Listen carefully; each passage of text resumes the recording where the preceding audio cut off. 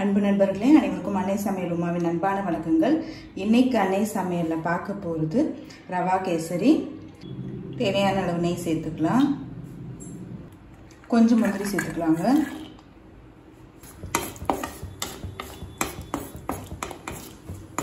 கொஞ்சம் திராட்சை.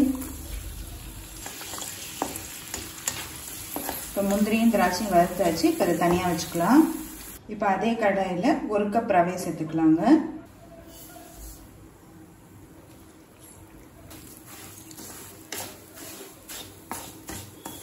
நீங்கள் நெய்லே ரவையை வறுக்கும் போது கேசரியோட டேஸ்ட் ரொம்பவே நல்லா இருக்குங்க ரவை கலர் மாறாத மாதிரி பார்த்துக்கோங்க. நல்லா ஒரு ரெண்டுலேருந்து மூணு நிமிஷம் வரைக்கும் நல்லா ரவையை வறுத்துக்கோங்க. ஏற்கனவே ரோஸ்டடாக இருந்தால் கூட திருப்பி ஒரு தடவை வறுத்துக்கோங்க. இப்போ ரவையை நல்ல வாசனை வர்ற வரைக்கும் வறுத்தாச்சுங்க.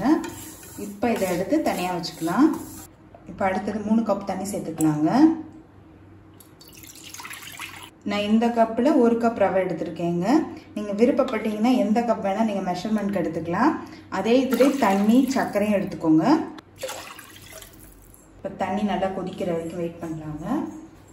இப்போ இது கூடவே கொஞ்சமாக ஃபுட் கலர் சேர்த்துக்கலாங்க. ஒரு சின்ன சிட்டிகை அளவு உப்பு. இப்போ தண்ணி கொதிக்க ஆரம்பிச்சிருச்சுங்க. இப்போ இதில் கொஞ்சம் கொஞ்சமாக ரவையை சேர்த்துக்கலாம்.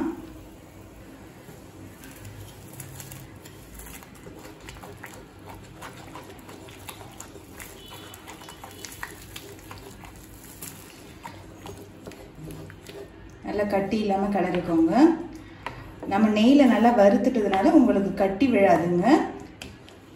இப்போ ரவை நல்லா வேகிற வரைக்கும் வெயிட் பண்ணலாம். இப்போ இது கூடவே கொஞ்சமாக நெய் சேர்த்துக்கலாங்க.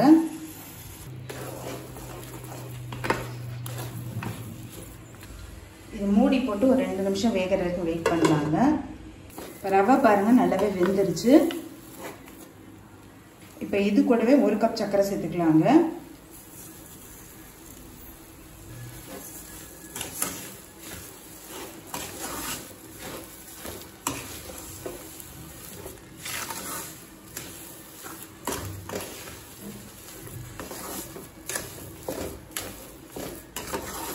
ஒரு கப் ரவைக்கு ஒரு கப் சர்க்கரை சேர்த்துருக்கீங்க நீங்கள் விருப்பப்பட்ட ஒன்றுக்கு ஒன்றரை அளவில் கூட நீங்கள் சர்க்கரை சேர்த்துக்கலாம். இப்போ சர்க்கரை சேர்த்துட்டு ஒரு ரெண்டு நிமிஷம் நம்ம ஸ்லோலி வச்சுக்கலாம். இப்போ நாலு ஏலக்காய் தட்டி போட்டுக்கலாம். இது கூடவே ரெண்டு டேபிள் ஸ்பூன் நெய் சேர்த்துக்கலாங்க.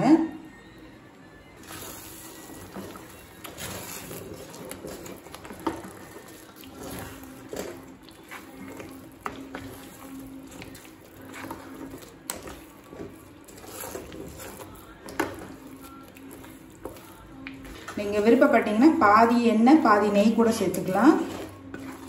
ஆனால் நெய்யிலே பண்ணிங்கன்னா டேஸ்ட் ரொம்பவே நல்லா இருக்குங்க. இப்போ சர்க்கரை சேர்த்துட்டு நல்லாவே கரைஞ்சிருச்சுங்க. இப்போ பாருங்கள் அப்படியே கடாயில் ஒட்டாமல் வருது. இதுதான் கரெக்டான கன்சிஸ்டன்சி இப்போ நெய்யில் வறுத்து வச்சுருக்க முந்திரி திராட்சை இது கூடவே சேர்த்துக்கலாங்க.